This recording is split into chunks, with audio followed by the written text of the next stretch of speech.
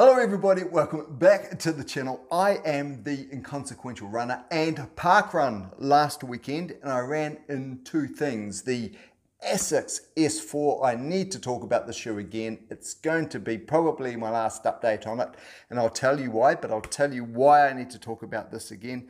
And a running top, handmade here in New Zealand in Wellington by Early. So I'm gonna quickly, actually I'll start with this.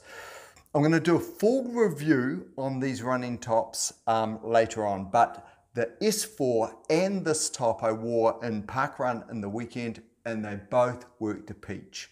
Now, the reason why I really like the early tops is, well, oh, I haven't got my normal running top around. I weighed it and it's 120 grams. And this early running top in the same size is 82 grams. So a big saving. I know 40 grams, you're going to say whatever. But when we talk about our shoes and the 40 gram difference between a you know, a 190 and a 230 gram pair of shoes or 280 and 320 makes quite a difference.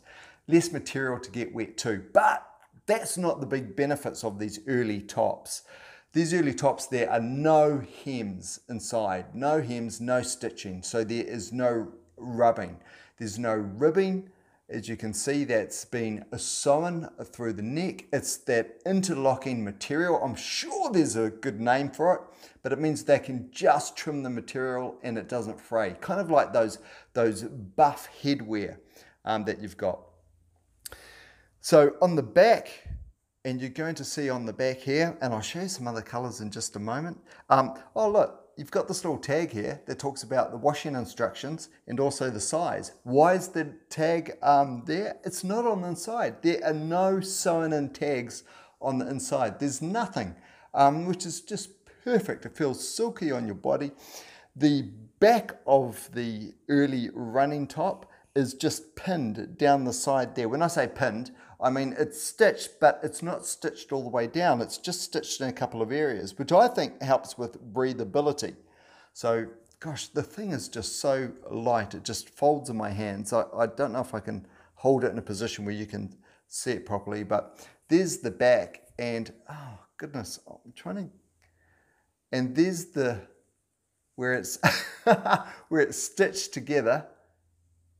And it's just, yeah, just a couple of areas where it's just overlocked. Is that the word for it? And you can just breathe through there. There we go. There's the back. And you can almost breathe down through the sides. That's it. Super light, really well designed, um, made in New Zealand, handmade in New Zealand. Great top, great top. If you're into the colors, I love this. This is my favorite. This is the orange with the um, red checker. Um, you've got in the same design, You've got the white, and this gives you an idea on sizing. So here's a woman's extra small, really small, um, really small. So you've got a huge range of sizes. Great color, that one. The pink stands out really well on that. And then you've got, this is like a yellowy green with a dark green checker on it. Buy early, check them out. What I'll do is I'll do a full review um, later with their shirts. But um, great quality, great quality shirts at a great price. I will put their link, uh, they're on Instagram, um, so I'll put their link in the comments. So just go down to the comments and you'll see them there. So that's early running tops. These are the S4s.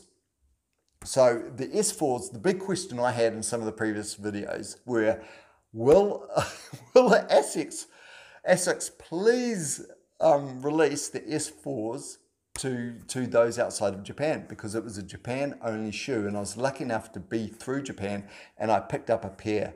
I loved them. I was on the treadmill in their shop in, in Tokyo at one of their shops in central Tokyo by Tokyo Station. Boring details there. Um, on the treadmill and within within a minute I just knew that I needed to pick these up. Now, if you want to know the weight, I'm not going to give you all the specs.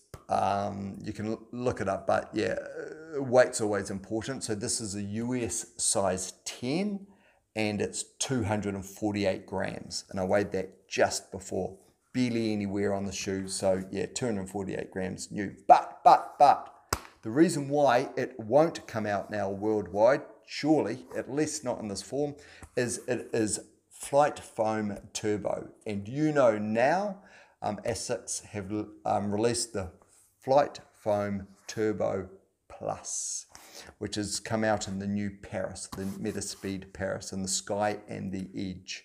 So this, this 4, who knows what the future is for the S4. Um, if it comes out, then it will be, it'll have to be in the Turbo Plus. I'm sure they'll look at specking it up. We'll see. We'll see what happens. But the final words I want to say on this S4 is it is a great shoe. Now, because the Flight Foam Turbo Plus has come out, I think that's going to be your more long run shoe. Whether you're racing or training, I'd go towards that. What I've been using this for is short, sharp sessions. So mainly on the track. So I'm talking about six kilometers on the track, broken up into intervals. So it might be two, two by threes, four by 1500s, six by 1000s, um, or the 5K and parkrun. Now, the re reason why I started there for a second is I've remembered the key thing I wanted to share with you about this shoe. This shoe is super responsive. It rockets. Now, I hear people use the word responsive in very different ways. So let me be really clear um, and prescriptive about what responsive means for me. It means this. If I'm traveling at one speed, say it's four minute Ks, and I want to shoot up to something like, you know, 240s, 245s, 250s. So getting close for me to 100%. Um, this thing gets me there super fast, super responsive. So I have no qualms about using it for short distance stuff. In fact, when I was down in the, um, the Nationals for Masters um, recently in Ōtautahi uh, in Christchurch, I used them for the 800 meter race. Great decision, great decision. When I kicked with about 200 to go, these things responded straight away. So I love them for short speed stuff. So what I'm recommending is if Asics release this shoe either in this form or by changing the Flight Foam um, Turbo to the Plus, pick them up. If it becomes, if the Plus comes out, then consider it for then your longer runs. But if it just stays with your FlyteFoam Turbo, then yeah, if you want to do more short distance stuff in it, do it. Now, what could I compare it to? I have got the Nike Streakfly. I prefer this over the Streakfly. I love the Streakfly, but I prefer this. This is a much more comfortable and I think a much faster shoe for me and gives me a lot more snap. The Streakfly has a shank in it, so the plate goes from about here to here. This is a full length plate and it's stiff as, but it feels good on the foot. Um, I haven't tried the Adidas Takumi Sen, so I can't compare it to that. But I think it's a super fast shoe and I think it's underrated at shorter distances. 200 meters, wouldn't use it for that. Um, 400 meters, yeah, yeah, I would. 800 meters, 1500 meters, 3000, abs- not steeplechase, but 3000, 5k, absolutely. 800 meters, it was beautiful. That's it, that's it.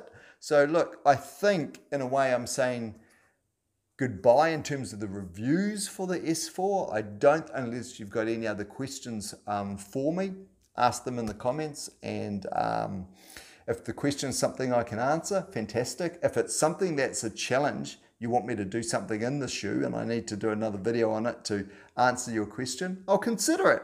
But I think my mind is made up about the shoe. It's clear to me about how it helps me with my training. So the only reason why I'm saying goodbye to this shoe is I don't think I need to do any more videos on this shoe. The Asics S4, great shoe for me for track training, for the 5K and, and parkrun. If it's on concrete, if it's flat, even better, um, which my parkrun is, or one of them are. And yeah, track sessions. Did I say that already? Can't remember. Doesn't matter. So check out early running tops. The S4, keep an eye on that. Let's see what um, what Asics do with it. It's a great shoe. It's a great shoe. So hopefully they do something with this. All right. That's it. You know what to do. if you have been able to tolerate this video, give it a like. Go on, you deserve it. Subscribe if you want to see more of these videos. They'll be better than this. And um, but I just I really wanted to talk about these two products. They just really served me well in the weekend. The early running top, such a great design, so clever. Um, and the Asics S4 shoe. And uh, it's a real pity. I, I, I'll try and do this for the review, but I'm not, I might need an assistant to help me, out, um, help me out with this. But yeah, that's the seam there where it gets, so it's pointing on the outside. So where the shirt comes together, it's not folded over and sewn that way. It points on the outside and it's sewn on the outside. So yeah, there's you feel nothing but fabric, no threads against you, no tags. Such a clever, such a clever design. So breathable, so breathable. Okay, that's it. Any questions you've got on the Asics S4 or the early um, running tops, throw them in the comments. You know I'll answer them. And the comment up the top uh, will be the link through to the Instagram page for early. Okay, that's it. Thank you for watching to the end. Catch you in the next one.